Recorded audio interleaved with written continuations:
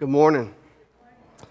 It is good to be able to worship with church family this morning. So glad to see you. I want you to do a couple things. First, I want you to go ahead and turn to Genesis chapter 20. We will find ourselves walking through Genesis chapter 20 as a whole as we continue to walk through the book of Genesis together.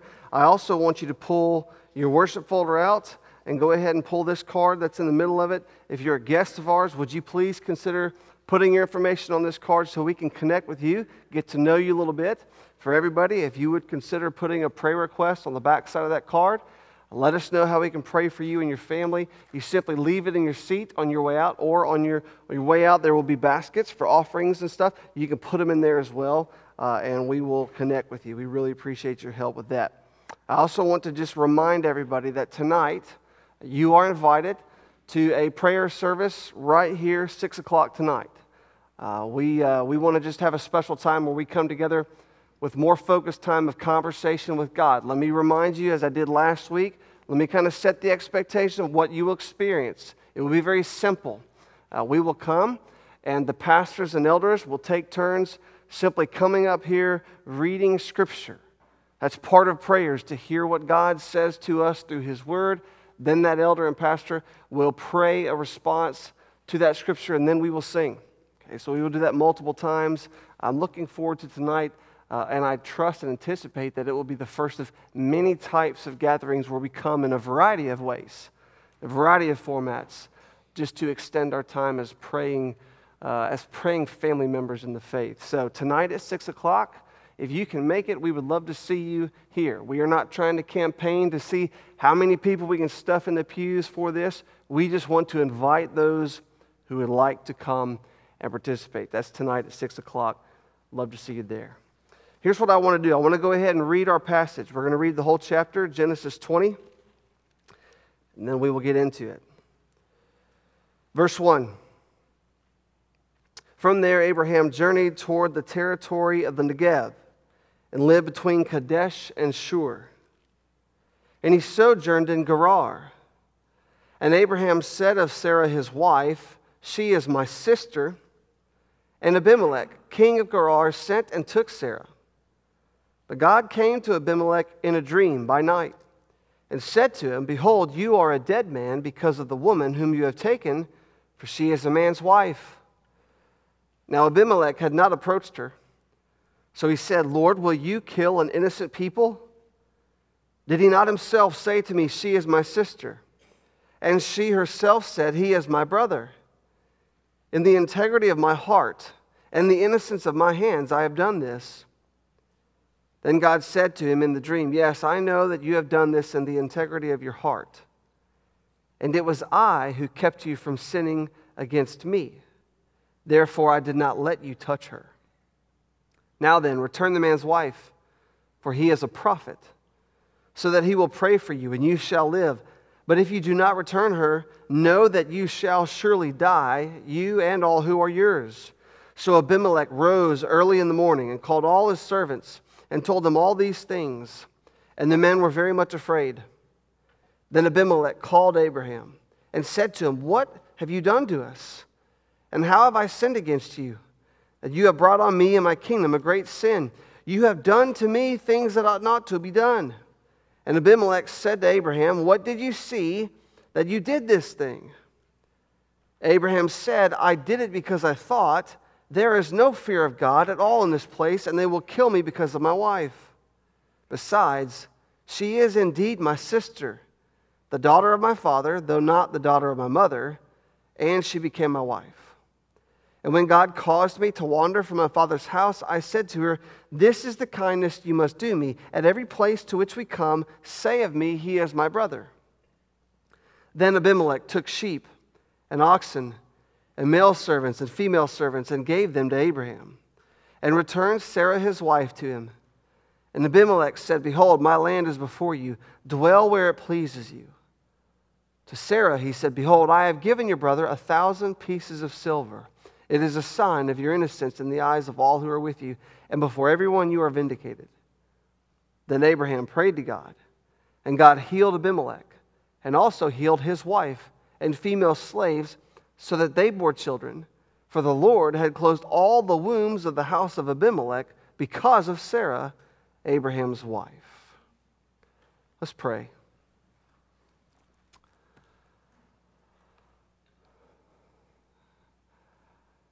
God, we, we gather before you completely undeserving.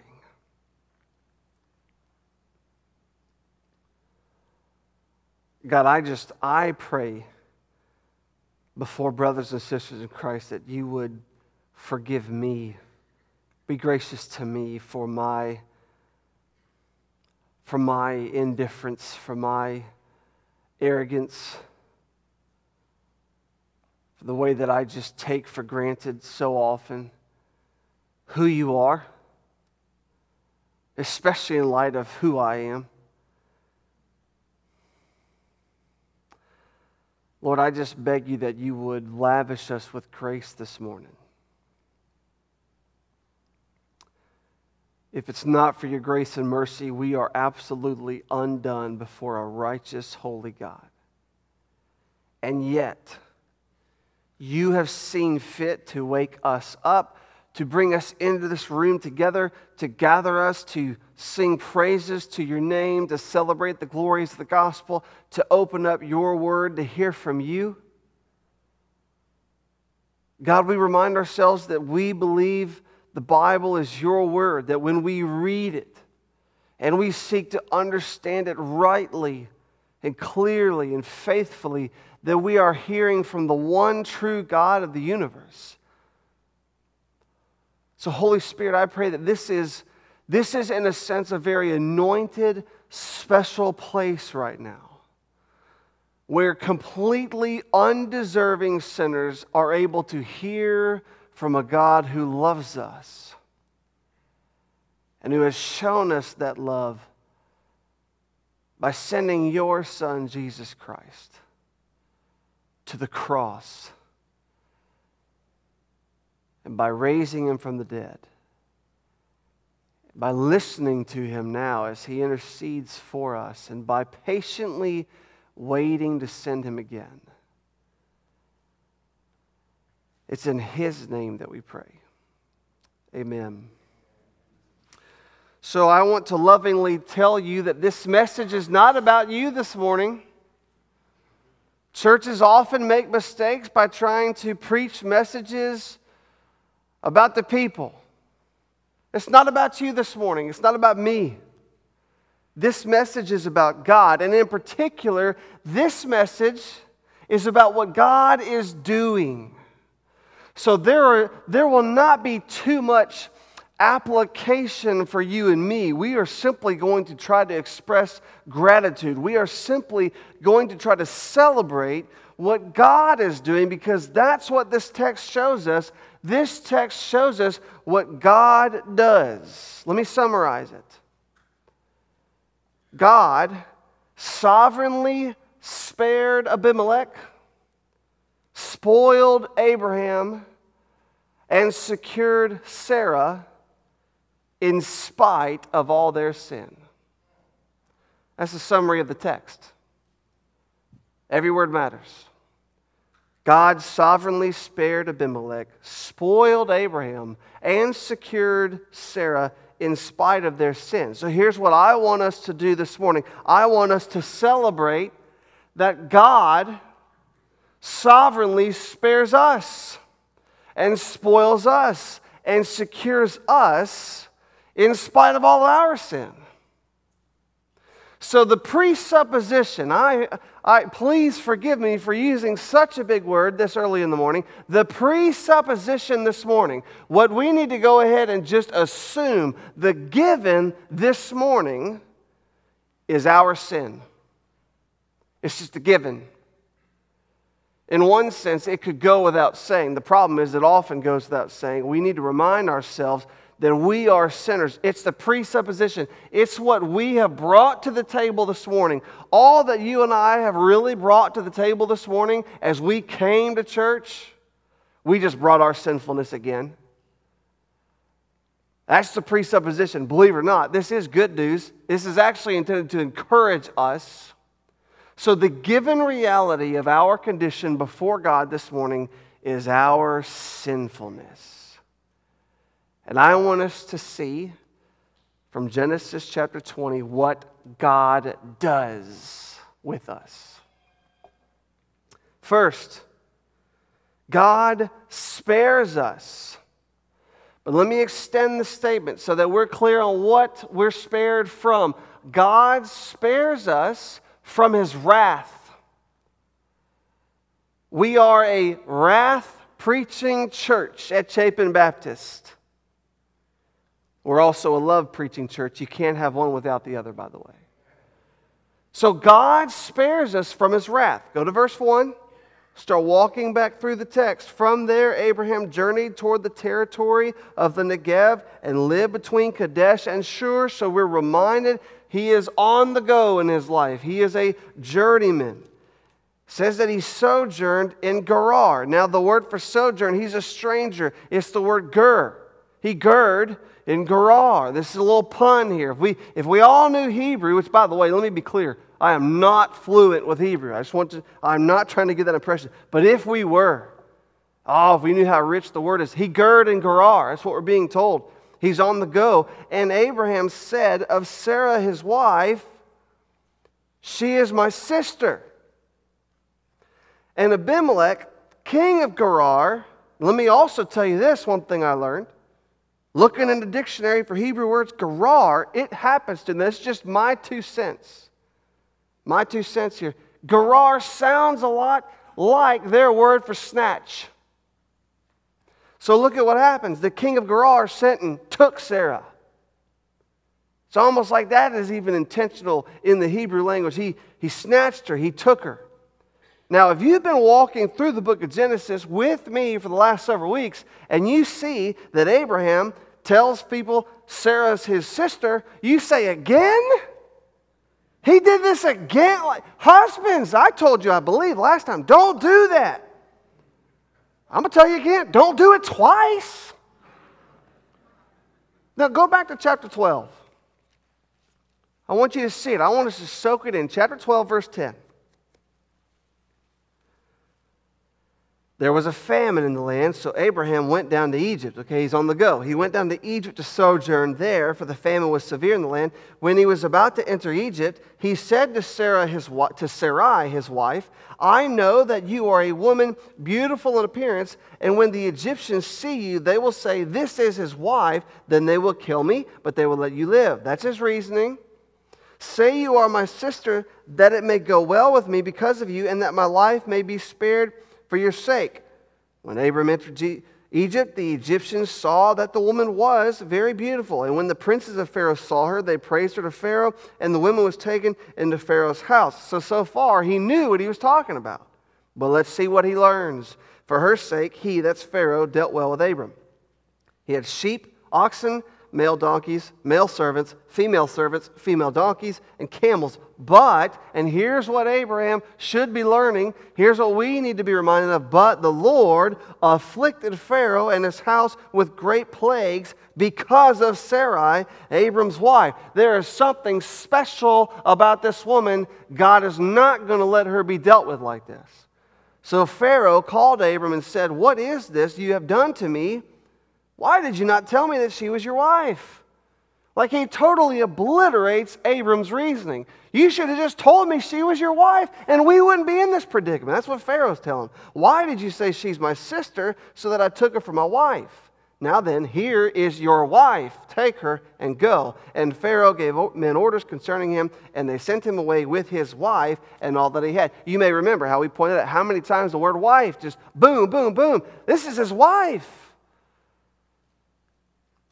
On top of that, God has just, in previous chapters, chapter 18 and 19, just shown two things that Sarah will have a child by Abraham, and he's also showing how serious he is about his business by destroying Sodom and Gomorrah.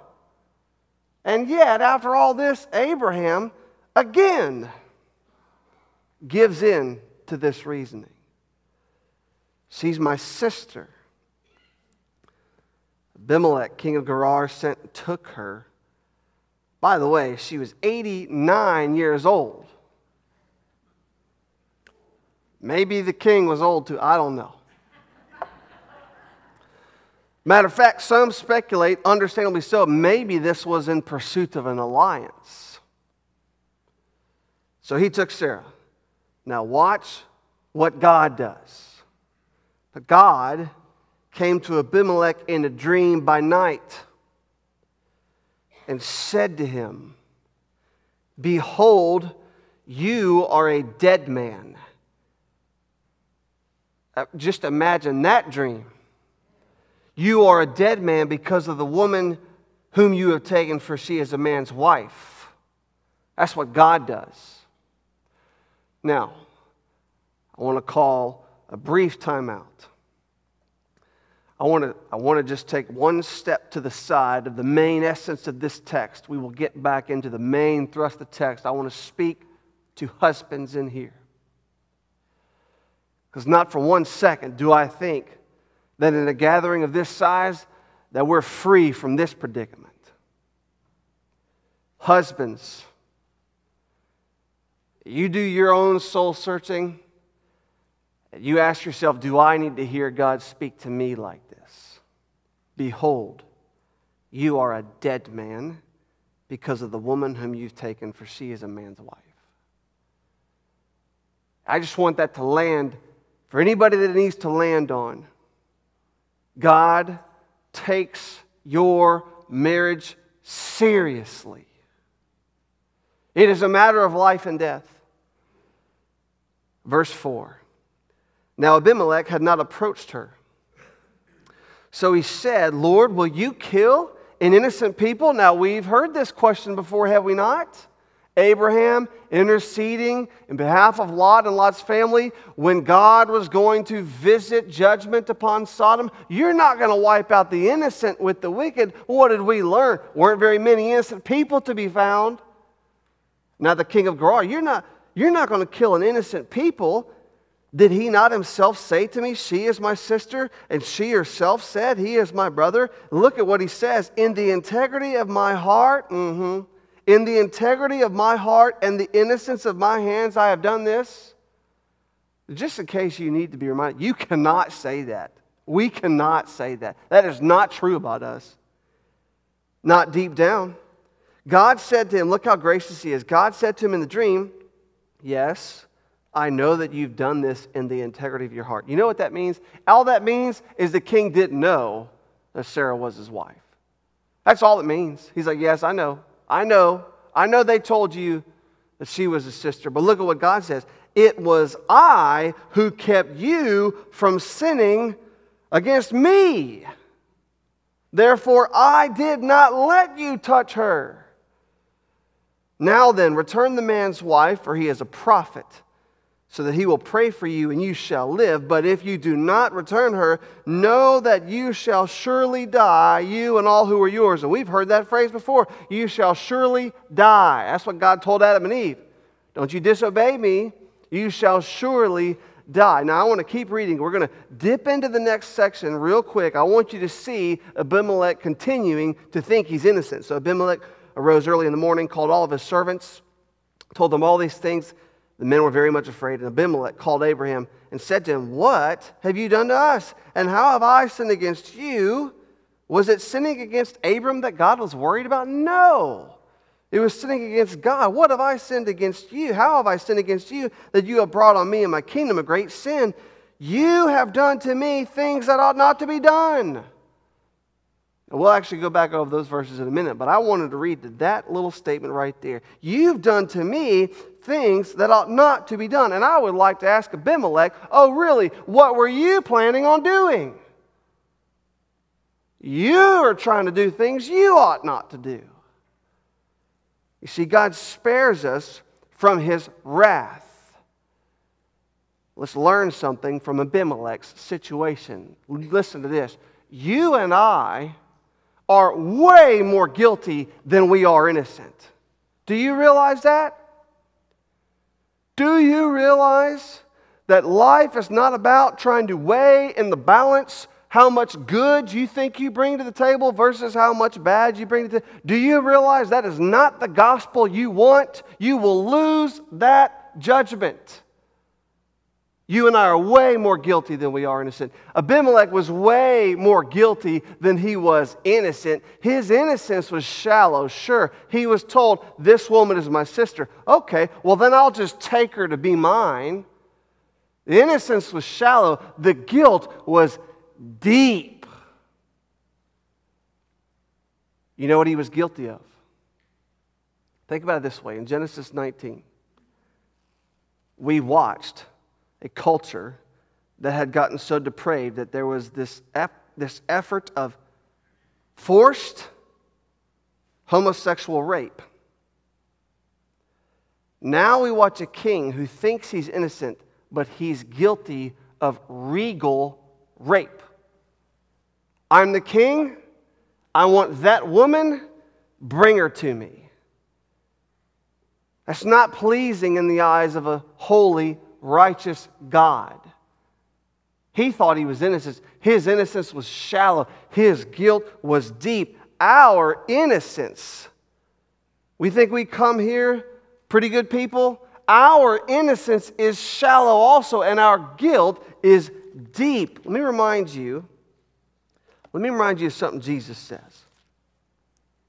Two examples of shallow innocence. So we can fool ourselves into thinking that we're actually pretty good, but deep guilt. Jesus once said this. He was preaching. He says, You have heard that it was said to those of old, You shall not murder, and whoever murders will be liable to judgment. And so easily we could have the tendency to say, Well, you know what? Never done that. I've never murdered anybody. You're probably glad to know that since I'm your pastor.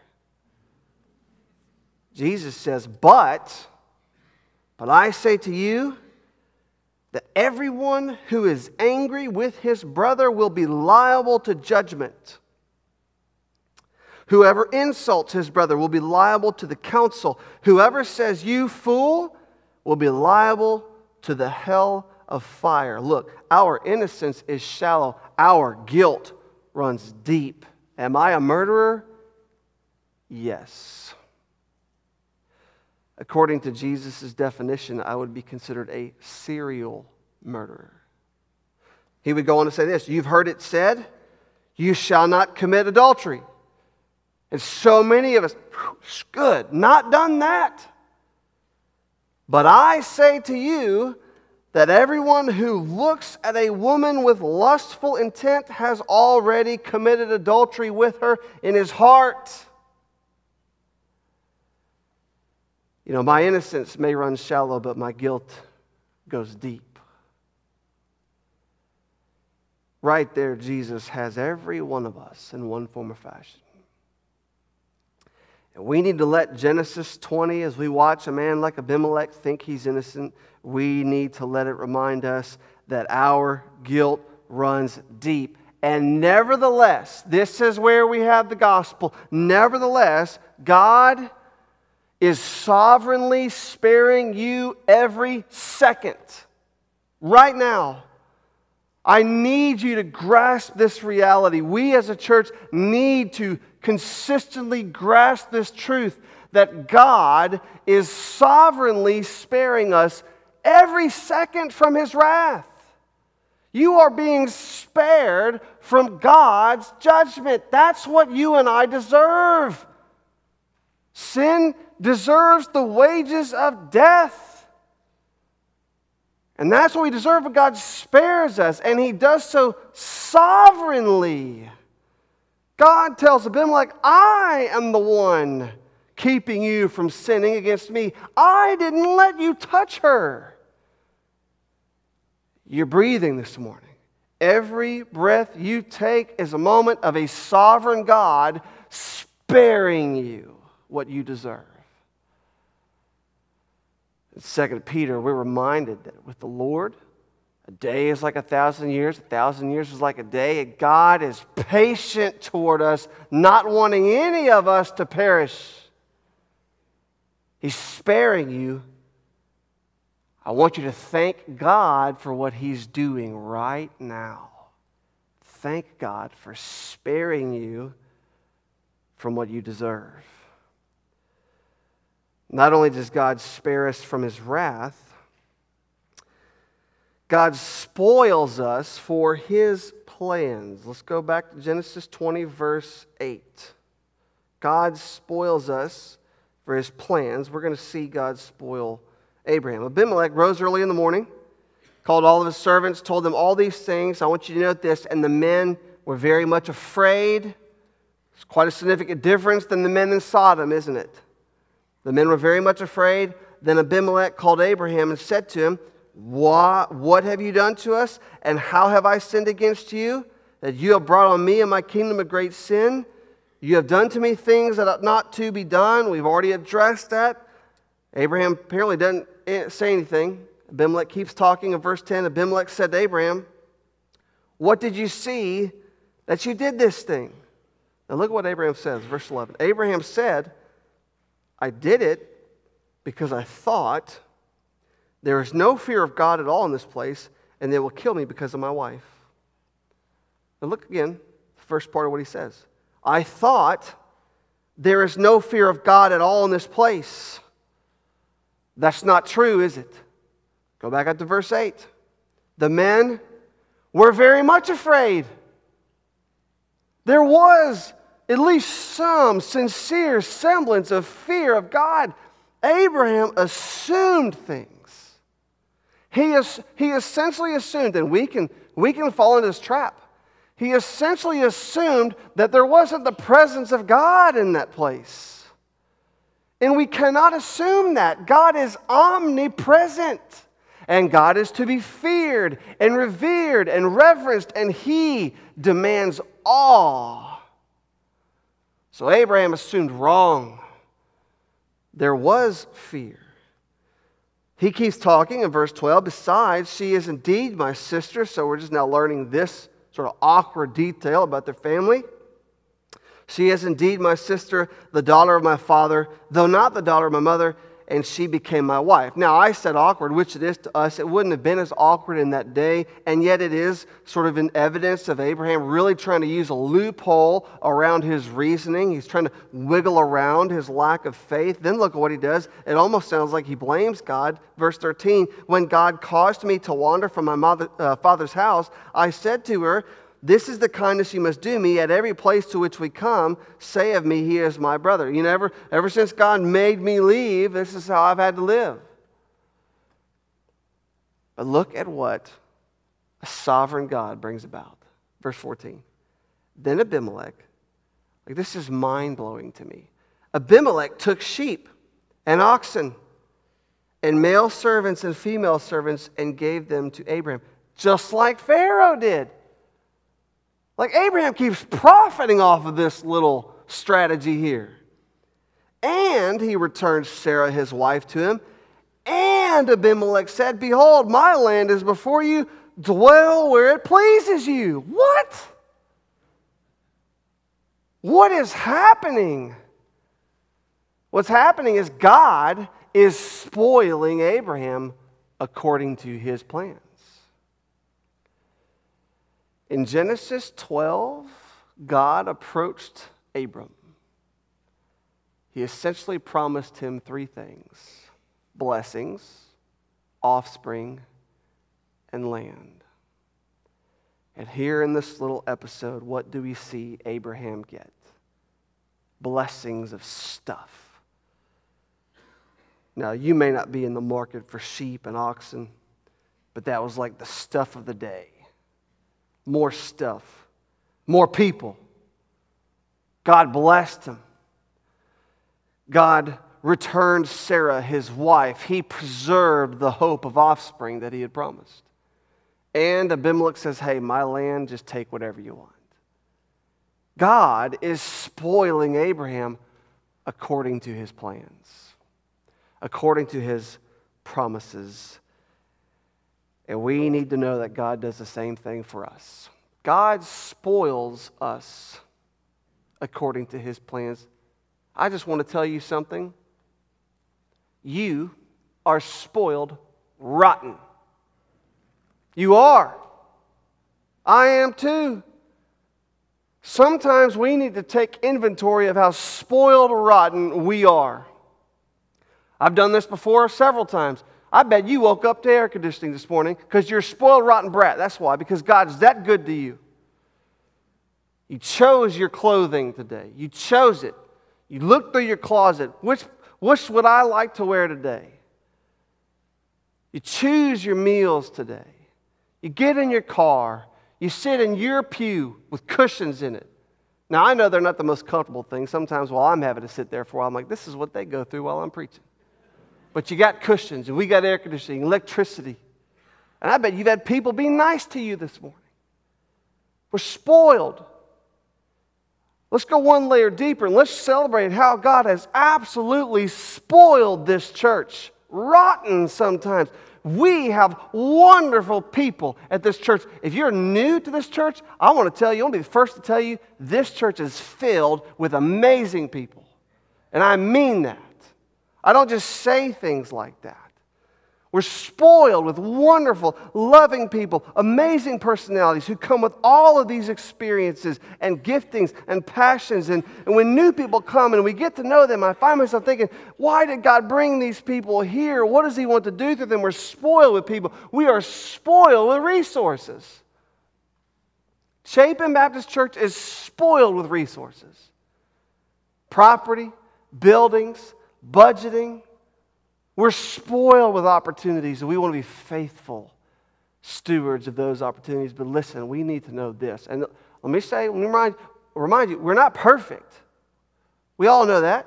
Cracks in the bucket always will be this side of heaven. But if we don't realize we are spoiled by a gracious God, then we're just refusing to see what, what's right in front of our face as a church.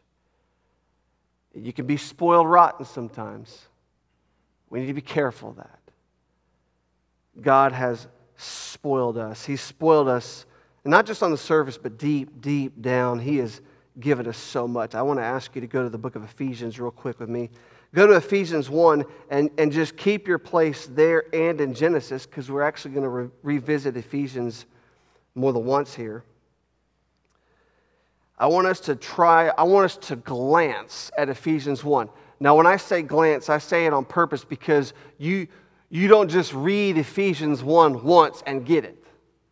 I was reading through Ephesians back in December as part of my quiet time reading, and I just remember trying to wrap my brain around what it was being said. We won't get into it. I can't, one day, I can't wait to preach through Ephesians. I want to glance at Ephesians 1 because I promise you, I will read it slowly to you, but we will not walk out of here grasping everything in this. But let's just try to hear one portion of Scripture and how God has lavished His grace over us. Ephesians 1, I want to begin reading in verse 3. I'm going to read through verse 10 for this moment. We'll come back later.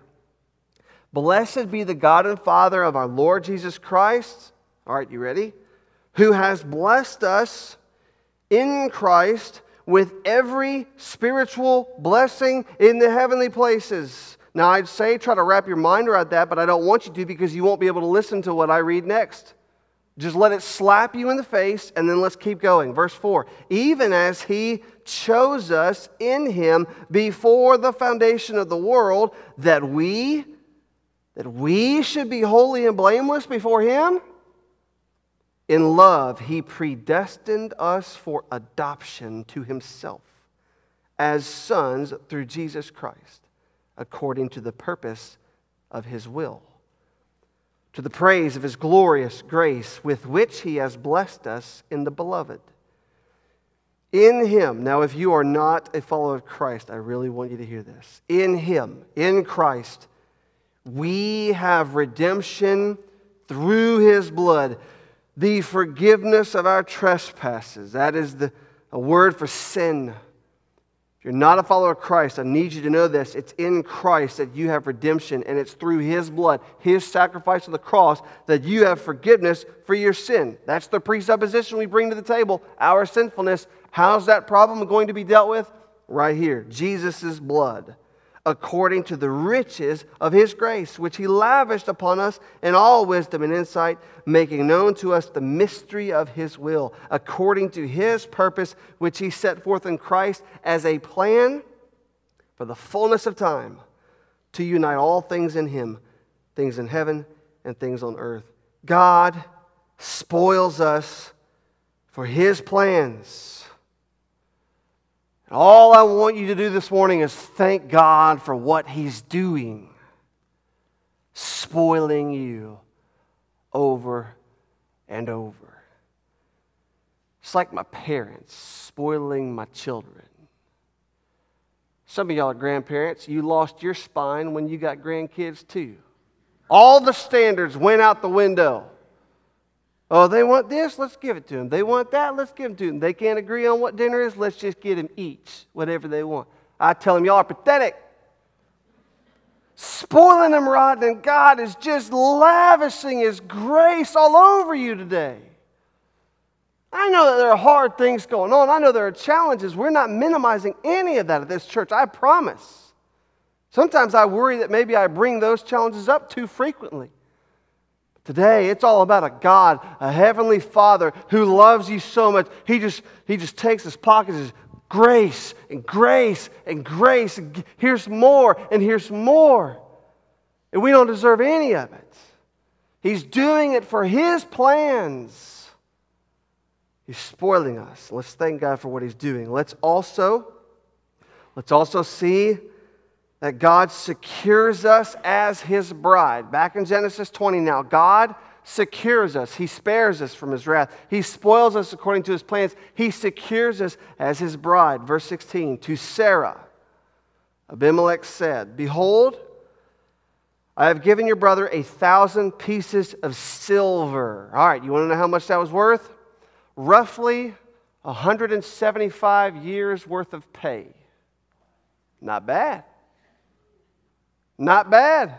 Hey, I'll go hang out with the king for a night. As long as he don't touch me for 175 years worth of pay. That's a lot of money. This is a lavish amount. This is a generous payment. Look at why. It is a sign of your innocence in the eyes of all who are with you and before everyone you are vindicated. A lavish amount was paid to declare that Sarah was innocent and vindicated. Hmm. Then Abraham prayed to God. Remember, he's the prophet. The first time the word prophet appears in the Bible is in this chapter. Abraham prayed to God. He's interceding for Abimelech. God healed Abimelech. Look at what happened. And also healed his wife and female slaves so that they bore children for the Lord had closed all the wombs of the house of Abimelech because of Sarah, Abraham's wife. God says, You do not mess with my chosen wife. God secured Sarah as Abraham's wife. The gospel is about God securing us as his bride. I want you to know this God has paid generously to declare us innocent before his eyes. Now, that word generously, that's actually a weak word compared to what it should be. I don't know that we have words for the amount that God has paid to declare us innocent and vindicated before his eyes, his holy, just, righteous eyes looking at us and all of our sinfulness and all of our impurity, falling so immeasurably far short of His glory. And yet, God paid generously for you to be innocent. And it was way more than 175 years worth of money. He sent His Son. He sent His Son to the cross. He gave His Son to declare us innocent to vindicate us before Him. I want you to go back to Ephesians 1. I hope you held your place there. Ephesians 1. I be, want to begin reading where we left off, verse 11. We bring it home. Ephesians 1, verse 11. In Him, it's in Christ, in Him we have obtained an inheritance having been predestined according to the purpose of him who works all things according to the counsel of his will. Again, I'd say try to wrap your head around that, but you can't. Just roll with it for right now. So that we who were the first to hope in Christ might be to the praise of his glory. In him you also, when you heard the word of truth, the gospel of your salvation, and believed in him, were sealed. I would say, we're secured, we're sealed with the promised Holy Spirit, who is the guarantee of our inheritance until we acquire possession of it to the praise of His glory. God secures us as His bride. Now, I want to go back to Genesis 20 for one more moment. As we close, I want to acknowledge that in the midst of all of this good news, I realize that there can be, among many of us perhaps, this hesitance. Still, maybe, maybe you need to hear a little more gospel hope. Maybe you need just a little more evidence that, in light of everything going on in your life, in light of everything swirling around your world, you need a little more evidence that God is doing His work and that He knows what He's doing. Go back to Genesis 20, verse 18 for the Lord. Now, that is the word Yahweh. It's used, I believe, as emphasis to kind of culminate what's happening in this episode here. The Lord, Yahweh, had closed all the wombs of the house of Abimelech because of Sarah, Abraham's wife. Now, just keep reading two verses with me. The Lord visited Sarah as he had said, and the Lord did to Sarah as he had promised and Sarah conceived and bore Abraham a son in his old age at the time of which God had spoken to him. I hope you're able to come back next week as we get into chapter 21, but I want you to see God closed the wombs for a reason.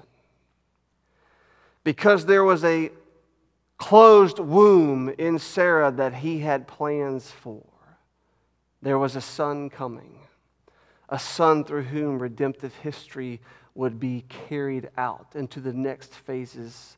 And when we celebrate Jesus Christ, the Son of God, we're celebrating the Son who culminates our redemption. God is doing his work among us, and he knows what he's doing. Let's thank him for what he's been doing all along. Close your eyes, bow your heads with me.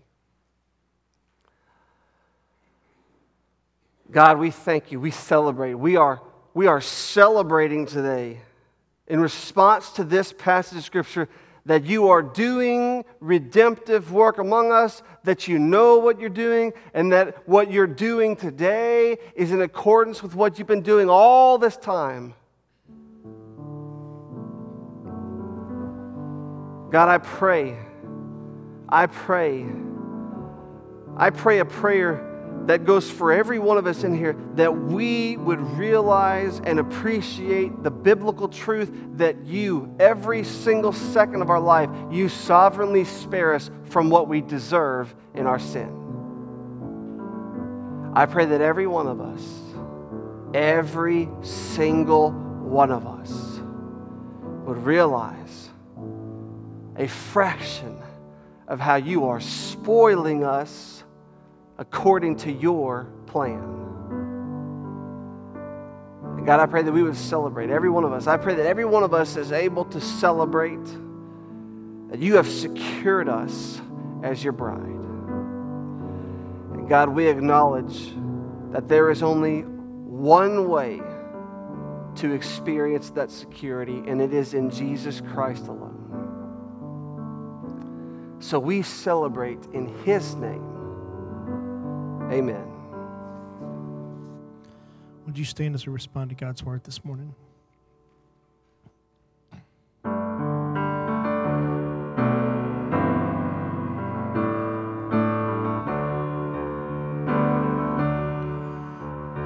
Be thou my vision, O Lord of my heart not be all else to me save that thou art.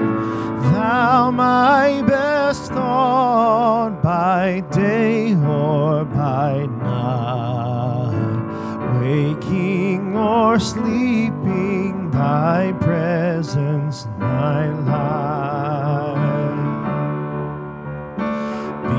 Thou my wisdom, and thou my true word. I ever with thee, and thou with me, Lord. Thou my great Father, I thy true Son. Thou in me dwelling, and I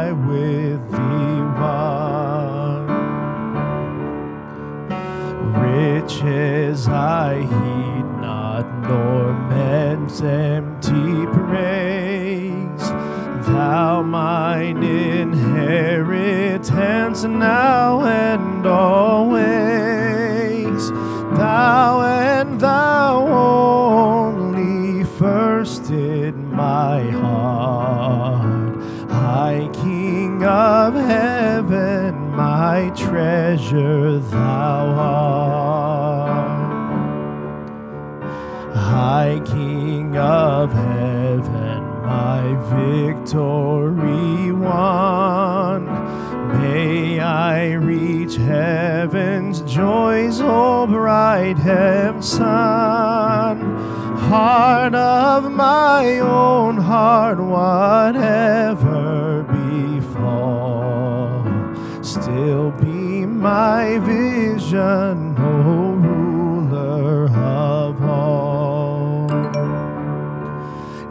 Still be my vision, O ruler of all.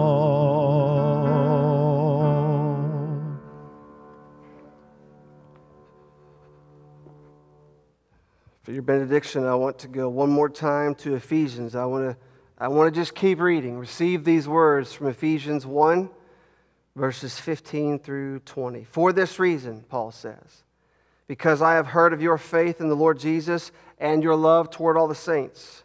I do not cease to give thanks for you, remembering you in my prayers, that the God of our Lord Jesus Christ, the Father of glory, may give you the spirit of wisdom and of revelation in the knowledge of him, having the eyes of your hearts enlightened, that you may know what is the hope to which he has called you, what are the riches of his glorious inheritance in the saints, and what is the immeasurable greatness of his power toward us who believe, according to the working of his great might that he worked in Christ when he raised him from the dead and seated him at his right hand in the heavenly places.